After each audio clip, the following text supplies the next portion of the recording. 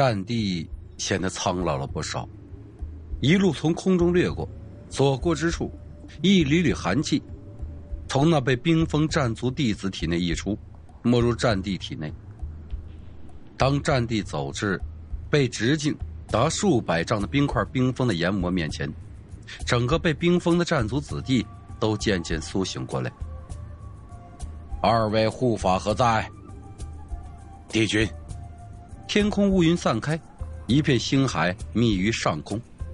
就在战地化落之时，两束淡淡光束从空中落下，战地身侧已然多了两名黑发男子。你们将这凶物锁了，扔至时空乱流之中。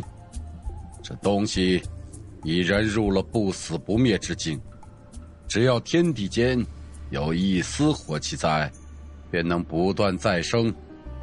他体外的火海根本无法灭绝，朕也只能将他连同那片火海困住。脱困是迟早的事情。你们将他带远一点，远离这太古位面，尽量不要让他再重回太古。是，帝君。两名披头散发的战族护法单膝跪下。应声答道，随后站起来，双手一展，双手各自飞出两根巨大的青索，刺入那巨大的冰层中。透过冰层，依稀能看到那愤怒的炎魔在冰层内发出的咆哮。两名护法轰出一道空间通道，随后双手一抖，在一阵锁链的滑动声中，牵扯那巨大的冰块，踏入通道中，消失在无尽的虚空。剑欲就止，轰！原剑阁之巅，一道巨大的光柱冲天而起，剑气锐啸，灼亮的剑气直冲天斗。整个剑域风起云涌，天地一片灰暗。站在千里之外，也能看到这通天的巨大建筑，如此声威，却是引得无数人的窥视。风声呼啸。天空突然破开一个巨大的口子，那口子中一名冷峻的男子自虚空中缓缓踏步。师尊，那通天剑气下端，一名男子跪伏于地，头几乎与地面相贴，在他身旁插着一柄赤红的宝剑。商儿，你终于回来了。风云无际，居高临下。静静的看着以五体投地之姿跪伏于地的赤商，无限感慨道：“是，师尊。”赤商抬起头来，脸上一片坚毅。“你跟我来吧。”远远的，被那巨大的天变吸引而来的一众太古高手，只看到两名男子一前一后，冉冉升入高空，消失于清明之中。天地复明，风声呼止。第三百七十九章，强悍的阿克罗。无尽的虚空中，一段对话发生在太古众人无法察觉的地方。尊上，战帝出手了。哦，风魔被他冰封，战族护法出动，将他送入了时空乱流之中。我们暂时已经失去了对炎魔的控制。嗯，战魔的玄冰诀确实霸道，炎魔被他暂时困住也是正常的。即刻出动所有族人去搜索炎魔的去向，运用一切方法将他引导回太古。凤飞小时候的饰品还剩下多少？亏尊上，当初收集的东西，如今只剩一个首饰。很好，这个首饰只要运用得当，必能对他们造成致命一击。哈，尊上英明。剑玉，那个剑神近况如何呀？本座有预感，这个如彗星般崛起的小子，可能对我族大业。带来极大的麻烦，必须得密切监视。上座，我们已失去了对监狱的监视。混账！尊上饶命！那个声音又急又快道：“不过不久前，他的弟子持生出现在监狱，并且以剑气吸引四方，剑神风云无际，随后在监狱降临。立刻着人前去查探，务必掌握他的一举一动。不久前，他已经感知到我们的存在了。他的成长太过迅速，这是一个……”我们所不能掌握的变数，目前，荧惑正和他们接触，我们不能太过招摇，以免让圣殿抓住我们的把柄。是，尊上。黑暗的虚空中，又是一片沉默。那地位尊贵的存在，似是仔细的思考了一番，随后沉声道：“阎魔。”既然已经被驱除出太古位面，现在也轮到我们出场了。尊上的意思是，阿克罗何在？那洪亮的声音在整个黑暗的虚空中回荡，扩展至无限远的地方。虚空中一片沉默，片刻的平静之后，从虚空中某处，一股躁动不安的气息翻涌起来。随后，爆炸般扩展至大片的虚空。大人，一个沙哑、阴冷、极度狂暴的声音从那躁动不安的气息中传出，一股黑色的雾气翻腾着，凭空出现在虚空之中，并且扩展至虚空中数百丈的范围。那种极度阴冷而邪恶的黑色魔气里，隐隐泛起一股金属的青铜色。阵阵铿锵的声响从那股晕印不散的黑雾中发出。即刻出去，前往太古位面，将凤飞给本座带来。主上的封印之地，便坐落在这个小姑娘的身上。记住，不可伤她。所有和轩辕有关的人，只有主人才有权处置。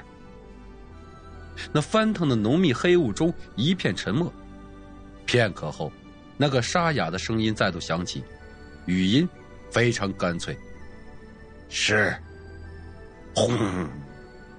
无尽的黑暗之中，一阵轰轰的声响传来，那团黑雾整个沸扬起来，雾气向两边分开，在那铿锵金属错动声中，一个带着洪荒般气息的青铜人影从雾气中一步步的走了出来。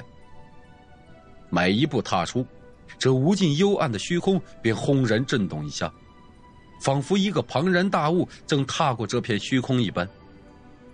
粗犷的线条，锋锐而狰狞的金属刺，坚实的质感，犹如洪荒猛兽一般的造型，以及天生的那份极度黑暗、狂暴而残忍的气息，这，便是天魔族闻名天下的天魔甲。那于黑暗深处，似乎沉睡了许久才刚刚醒来的男子，整个身体都包裹在这坚硬的铠甲之内，便是眼睛也不例外。若说有什么部位露在这副狰狞而阴邪的铠甲之外，便只有那生满数尺长、锐锋倒刺的头盔下，那一缕极黑极粗的长发，一根根从铠甲下垂下。松散的披在冰冷若冰霜、泛着青光的甲背上，平添一份诡异的气息。名为阿克罗的男子，浑身缭绕着丝丝魔气，走出十余丈后，突然停了下来。青色臂甲的右拳突然腾起一股黑烟，随后重重的轰击在一片身前的虚空之中。轰！随着一道巨响。一道比黑暗还要漆黑的裂缝突然出现在阿克罗面前，无尽的星光出现在裂缝之下，透过缝隙，隐约可以看到无数起伏的山峦藏于黑夜之中，大地处处腾起火花，无数人影手持利刃于山脉上风掠空而行。嗖，一声锐啸传来，随后不知从何处抛来一柄二指宽、有近一丈长的狭窄长剑。阿克罗左手随意一伸，一把将那看似吹毛断发的利刃握在手内。阿克罗，这把主上夺自阿修罗魔帝的佩剑，现在赠予你。此次任务只许成功，不许失败。若是见不到凤飞，后果，哼！嗡，一阵剑鸣传来。手中传来一阵阵颤动，阿克罗头微低，目光从手上近丈长的阿修罗之剑上掠过。这把长剑，剑身弥漫着一股黑色的雾气，那剑身上有一条容易被忽略的剑槽，剑槽内呈现一片赤色，那是染过无数鲜血后方才凝出的痕迹。阿克罗面容也于那狰狞的铠甲之下，无法看清脸上的表情。侧着脸，微微点了点头，随后一脚踏入那片被破开的裂缝之后。熔岩平原，边沿数千里处，一座以岩浆凝结沉淀、经过长时间形成的火红熔岩建筑的宫殿依山而立。这里便是苏醒不久的凤飞栖身之所。一柱身着着火红色炎帝战甲的炎族战士。手执着炎神戟，警惕地守卫在宫殿之外。宫殿之外是一片平坦的大地，在地平线处，才隐约出现一片起伏的山峦。左侧，大地飘起的阵阵青烟，正是熔岩平原所在。在这处不显眼的地方，很少有人会来打扰凤飞，以及一干炎族。这里，在混乱的太古，近乎成了一片乐土。一片专为凤飞而存在的乐土。且不谈炎族圣女的地位，也不说与剑狱剑神的关系，只凭轩辕小女的身份，便足以让很多人为她而舍弃自己的性命。宫殿之内，神鸟离鸾静静地伏在规则的方块石板铺就的地面上，卷着身子，美丽的头颅埋在华丽的翎羽之下。静静的熟睡着，在离鸾上方，一身凤袍的炎族圣女正依靠着一张质地玛瑙做成的宽椅，静静的冥思着。突然，凤飞长长的睫毛抖动了两下，一双凤眼猛地睁开。三叔，我感觉到了，他消失了，在太湖消失了。那宽椅旁，站着进入入定状态的炎族长老。闻言也是睁开眼睛，脸上带着一丝不确信道：“真的吗？是谁这么厉害，居然能把炎魔逼走？”凤飞想了想，说道：“我不会弄错的，他确实在太古消失了。”炎族长老的额上皱纹一丝丝展开，心中似是松了一口气，说道：“太好了，不管如何。”只要能让他暂时察觉不到你就好，一切等待族长回来再说。嗯，凤飞点了点头，沉默片刻，随后似是下了极大决心，面向严族长老说道：“三叔，其实我想见见小严，我相信他本性不是那么坏的。”不行，严族长老脸色一沉。随后，似是感觉到语气有些过了，抚着凤飞的头，语重心长道：“凤儿，你当初还小，不知道这等凶物的厉害。但凡这些强大的异类，必是生性残暴，与天相争，与人相争。他还未成熟前，本性尚未完全展露出来，才会和你玩耍。但你还记得你二哥吗？”他们是怎么死的？还有我们那么多族人，你忘了你父亲的话吗？你不是亲眼见过他造成的杀戮吗？凤飞低下头，脸上带着丝丝忧伤，低声道：“三叔，我知道错了。唉，老人叹息一声，希望炎魔是真的消失了，再也不会出现了。但即便是他自己也无法相信，昔日轩辕至尊在世之时都未能降服这畜生，何况如今呢？大殿之内陷入沉寂之中，两人各有心思，沉默不语。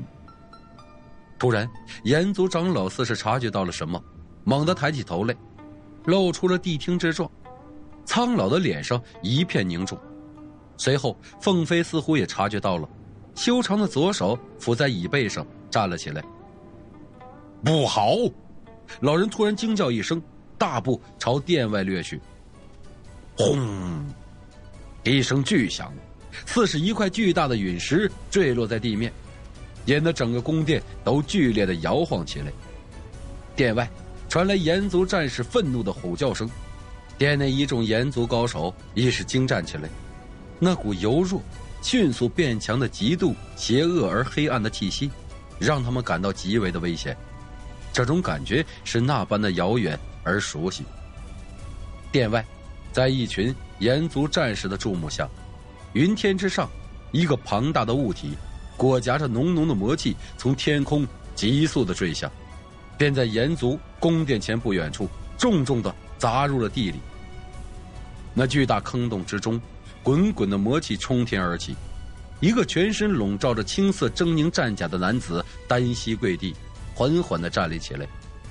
头盔后，那狂野的发丝一下子散开。噌，男子右手一扬，手中隐现血色纹路的阿修罗之剑，发出一股跃跃欲动的嗜血鸣声。阿克罗的左手，轻轻的在阿修罗之剑上轻轻试过。天魔甲与阿修罗之剑摩擦，发出了一股清越的鸣声。天魔族最前端，一名炎族战士认出了男子身上的那套战甲，突然大吼起来。尾音未落，只觉眼前一道阴影晃过，随后由额头至脚其中分开，倒落在地上。第三百八十章，凤飞逃亡。炎河！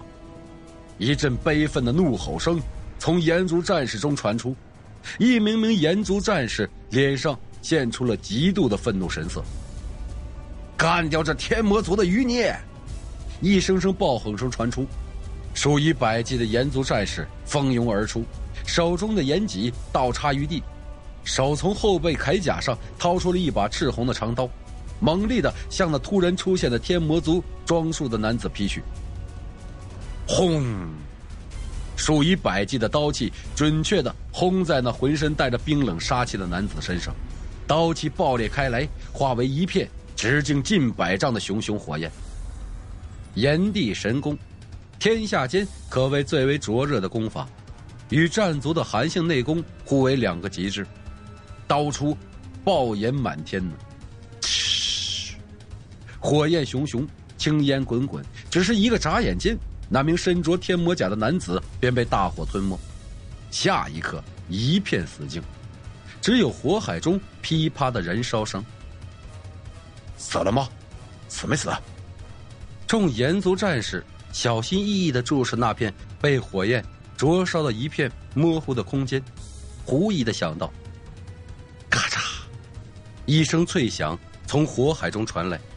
众人心中一跳，立即反应过来，抓起地上的长戟，正对着那片火海方向。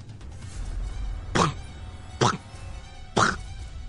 一阵阵撞击声传来，那庞大身影的头部射出两道冰冷的光芒，钢铁的右手斜斜伸出，那黑中带赤的阿修罗之剑在虚空中一转，稳稳的没入男子的手中。